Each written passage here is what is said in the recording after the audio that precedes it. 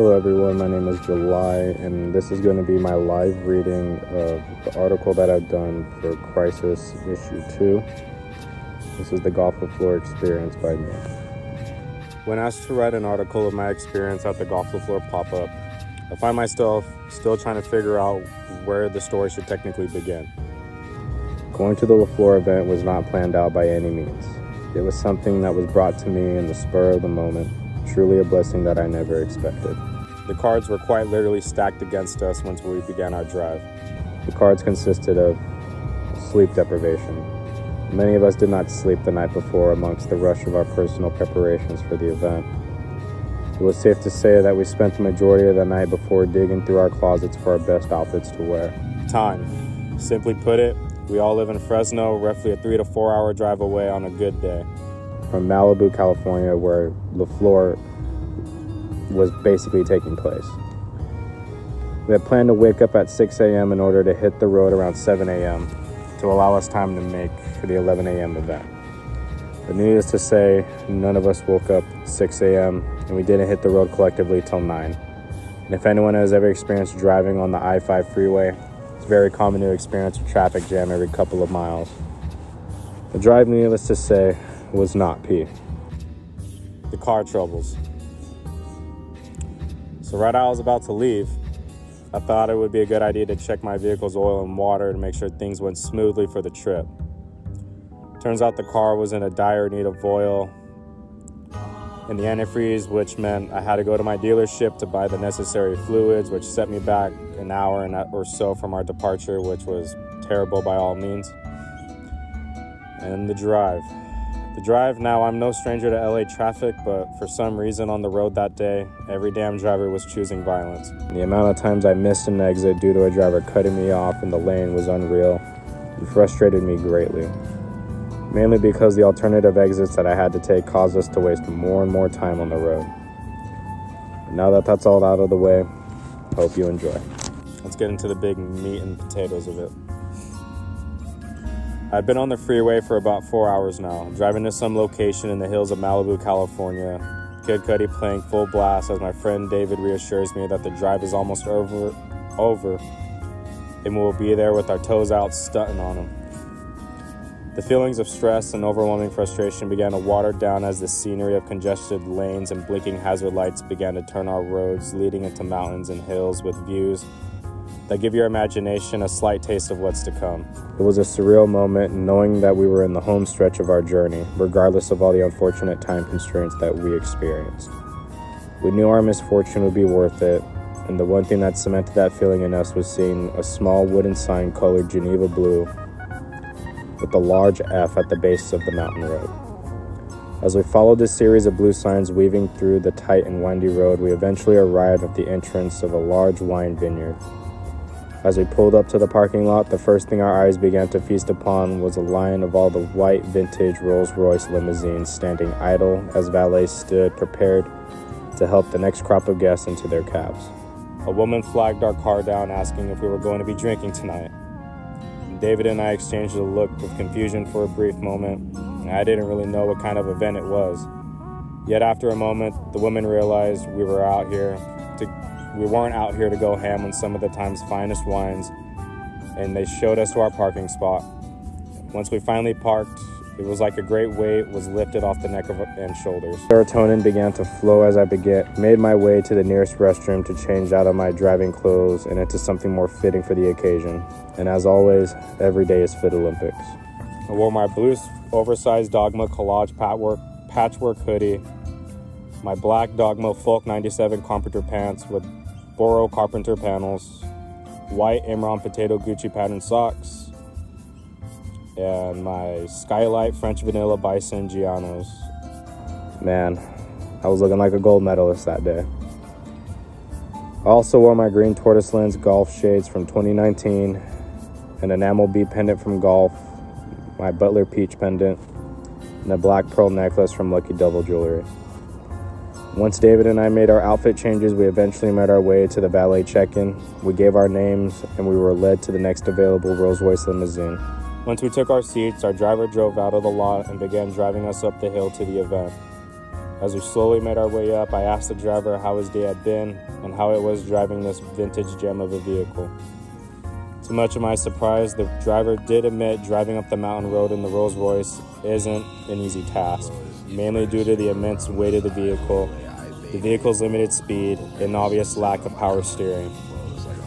We went on to commend our driver and told him he was a Jew. During this conversation, I had realized that besides riding in a vintage gem of a whip, there were some recognizable gems parked alongside the winding road leading up the hill. All the vehicles we saw going up the mountain were pretty much vehicles that T, or at least I speculated to be owned by T. It's hard for me to recollect by memory the exact vehicles I saw, but some notable whips were T's rally cars, a blue and dark blue Lancia Delta Integrale, I believe the blue Lancia was featured in the What's Your Name music video, and the blue color of this video or vehicle is similar to the Geneva blue nail polish. The dark blue Lancia could have been green, maybe black. A pink Fiat Abarth 131, most recognizable for its appearance in the first round of Call Me If You Get Lost album advertisements. I believe I saw a black Rolls Royce Phantom 2, but I most definitely saw the big body green Rolls Royce Cullinan parked at the entrance of where our cab was heading to drop us off. As our cab made its way into the stone turnabout, there stood a valet waiting to get the door for us as we arrived. Should probably mention all valets and store assistants were dressed in Le Fleur from head to toe, and as David and I made our way out of the cab, we thanked our driver and our door assistant, Isaac, opened the door and greeted us with a welcome to Le Fleur. The Le Fleur shop stood small, smack center in the middle of the event space. The structure of it was reminiscent of a clay adobe, yet instead of your usual shade of clay, red, beige, this adobe was Geneva blue, accented with round windows and topped off with a black lettered Golf Le Fleur sign. As I looked to my right, I saw Mitch and walked over to greet him and checked to see how the he was after the drive. After a short exchange of words, I noticed someone approaching to my left, and to much of my surprise, it was the man of the hour himself. We shook hands and he thanked us for making the trek to experience what he had been working on for the past few years. After a few more words with T, I made my walk around the event area, getting a feel for everything. And I will say the atmosphere was invigorating. The Le Fleur Adobe shop stood at the top of a small ridge amongst the open horizon of tree covered hills and exposed stone mountains. The sun was bright and warm, yet the wind was constant, cool, and comfortable. It felt like those days where the sun is beating on your back, but you don't really care because the breeze is keeping you cozy. It was just a very good day. After basking in the sun, I made my way to the Adobe to peek up at the upcoming Le Fleur collection. The space was incredible. The interior walls and floor were wooden and unstained, which complemented the various shades of browns, oranges, and blues of the garments that hung on the racks. As I walked through, the first thing I noticed on the wall were leather loafers with a gold Le Fleur buckle. These shoes look very similar to the Doc Marten-esque shoes we've seen Tyler wear before in public, except these shoes seem to be an upcoming collaboration with Solovair. Next to the Solovair shoe display was something I didn't entirely expect to see. It was a display of a doll fully decked out on the floor. In the catalog, the doll was identified as Benjamin Blue. The doll was wearing a green Le Fleur leopard print vest, rolled up khaki shorts, blue shoes, and had a Golf Le Fleur Ushanka, the whole nine. Across from the accessory table was a display for the French Waltz fragrance and nail polish, which I would say a lot of guests spent their time browsing over. To the left of the fragrance and polish display was a series of the Globetrotter trunks, as well as the pink digital leopard suitcase. I will admit these trunks were a little too rich for my blood, but after reading the specifications and seeing the use of pebbled leathers, vulcanized materials, and 14 karat gold hardware, it's pretty easy to understand where the price point is coming from. I would safely identify the Globetrotter trunks as the focal collaboration for this event, and to anyone who purchased a trunk or case from this collaboration, you're ballin', no kizzy. After some time, a store assistant walked over to me and helped me purchase a few items from the shop. I had picked out a khaki bucket hat, a Le Fleur pin, a moleskin, moleskin notebook, a nail polish set, and a bottle of the French Waltz fragrance. After checking out, I was told to go and enjoy the event. While my items were getting prepared, it was this moment I decided to add enough time in the store stressing over things to buy and went around the grounds with my camera catching moments. As I looped around the Le Fleur shop, I noticed my friends had gathered around this Le Fleur bellboy statue that was holding two suitcases with the words Le Fleur embossed on them. As I pulled out my camera to take a photo of the statue, I failed to realize that Mitch was exchanging words with Christian Clancy.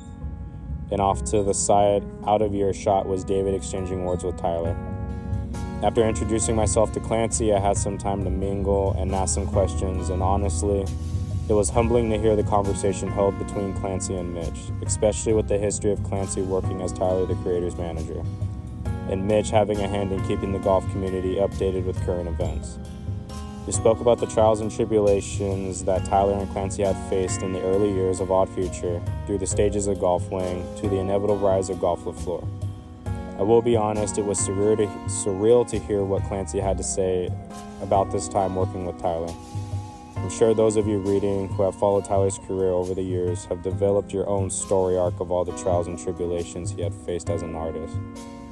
I know some of you reading may even feel proud as a fan to see how far Tyler has come, eh, regardless of the barriers he had to break. To hear Clancy give us his perspective on the hard and beautiful times of his career hit home for me, mainly due to the fact that a lot of the emotions he expressed were collectively shared and understood and felt amongst Mitch and I. The only difference being that Clancy's perspective was solidified from years of being in the trenches of Tyler's career getting to hear what he had what he had to say humbled and enlightened my perspective. The best way that i can describe the whole vibe of the conversation honestly felt like it was one of those nostalgic talks you have with your uncle at a family cookout.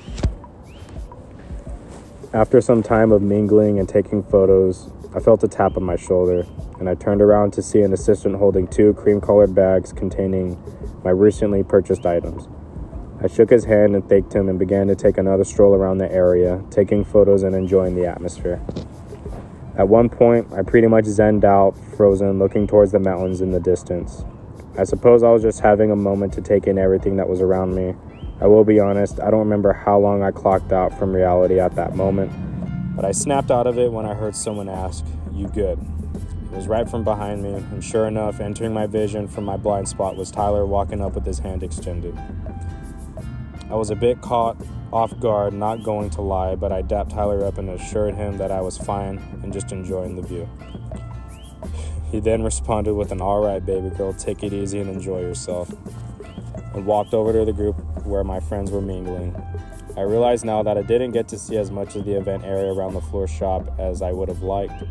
Yet at this point in the story, I only had about 30 minutes left before the last limousine arrived and for the majority of the last 30 minutes I spent walking around taking photos and mingling with the other guests at the event.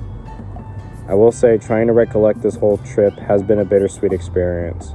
There are moments that I wish I could recollect from memory, but a lot of it is a blur, besides from the core moments I expressed through the story you just read.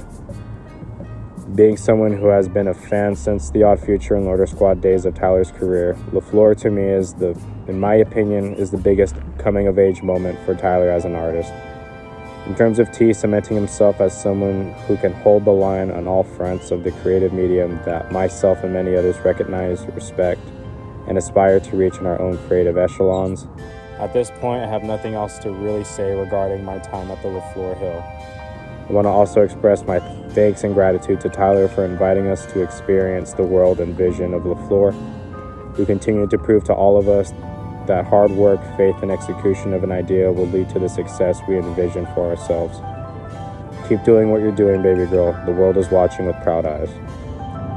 Thank you to Tate for waiting patiently, patiently, and patiently for this story to be written for allowing me to tell it on this edition of Crisis Volume 2.